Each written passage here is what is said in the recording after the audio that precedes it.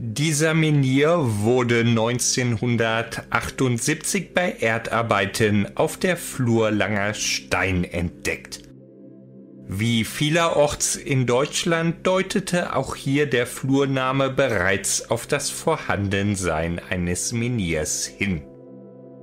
In der Nähe des Menhirs fanden sich Relikte aus der jüngeren vorrömischen Eisenzeit. Es wird vermutet, dass es sich beim Stein um eine Grabstele aus dem zweiten oder ersten Jahrhundert vor Christus handelt.